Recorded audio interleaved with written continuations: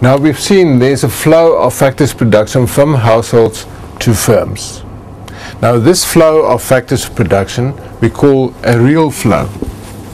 There's a flow of, of labor, land and so on. So there's a real flow from households to firms. In return, households receive an income from firms in the form of a salary, wages, profit and so on.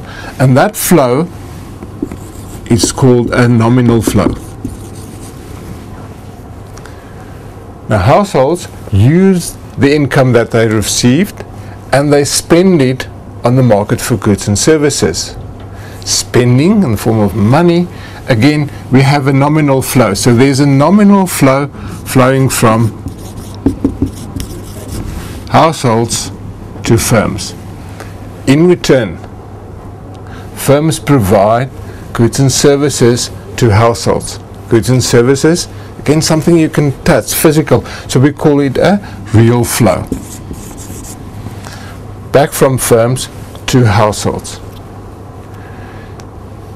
In the second place, what you should notice that the flow of real, um, the real flow, in other words, factors of production from households to firms, and firms use the factors of production and they provide goods and services back to, to households.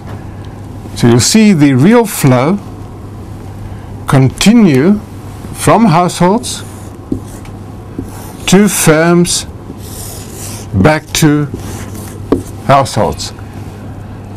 Anti-clockwise. Same time. There's a nominal flow from firms to households and then from households back to firms.